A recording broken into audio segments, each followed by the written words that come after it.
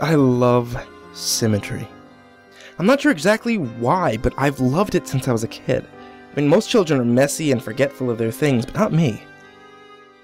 I knew everything has a place, and in my room, everything was right where it belongs. My parents didn't have it. My grandparents didn't have it either. Not a single person in my family had it. I've started referring to it as it because I truly believe it's a thing inside me. A stowaway that shouldn't be there but lives inside me. It's a need, a desire, a longing to be perfect. Perfect on both sides. As an adult, I'm at the point where I can't live my not I'm at the point where I can't live my life normally. I can't keep a job. Women don't stay with me because they can't handle it. And honestly, I don't care when they leave. They're messy and make things difficult. They roll over to my side of the bed instead of staying on their own. They leave dishes in one side of the sink but not the other. I can't work anymore.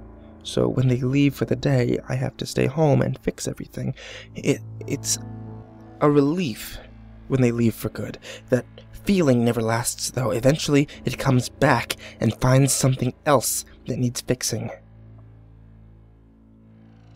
You may be asking, why would I seek out relationships to begin with if I can't stand them? well, that's. It's hard for me to sleep in the middle of the bed all night without moving. Yeah. Other than the relationship problems, my life is pretty much in order. I say pretty much because there's one last issue that must be dealt with. You see, I have what's called heterochromia iridum, or two different colored irises. My right eye was cornflower blue, my left is pale green. Both my parents have cornflower blue eyes, my siblings and cousins as well. My green eye is the broken one. It makes me unbalanced. And every time I look at myself in the mirror, it stares right back at me. It's all I think about now. Everything is in its right place except for my green little mistake.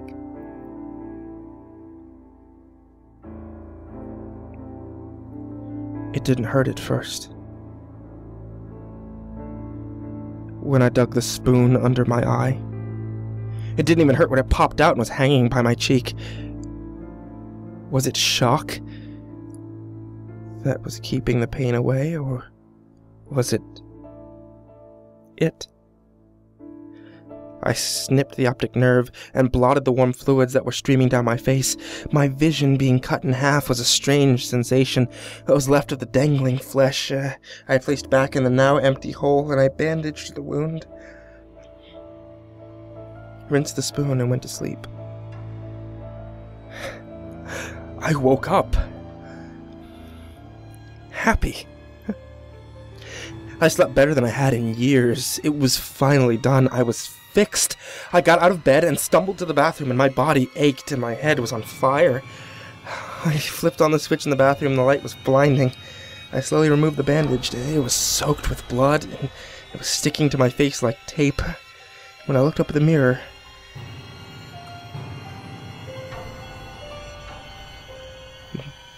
My stomach turned. Only then had I realized what I'd done to myself, and I.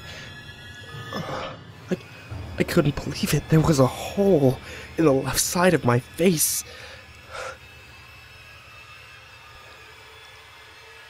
But not the right side. I was unbalanced. Again!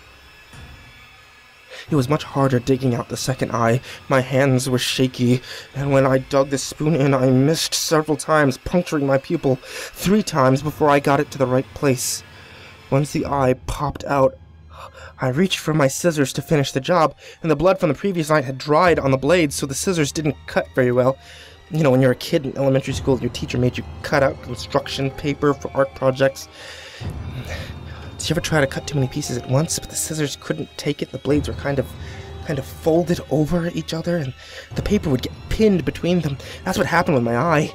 The optic nerve was pinned between the two blades. It was stuck, and I was trying desperately and frantically to make it unstuck. I slipped on the blood and started falling to the floor. Reflexes kicked in. I let go of my eye to try to break my fall with my hand. The weight of the stuck scissors on my dangling eye was unbearable. I knew I couldn't stand it long enough to make it to the kitchen to get a knife, so I pulled. I pulled it straight out of my head. I felt the flesh tear from inside of my skull. I, I felt it rip and spew liquids everywhere. Uh, I knew I was crying, but there was no telling the tears from the blood, from the from the ocular fluid.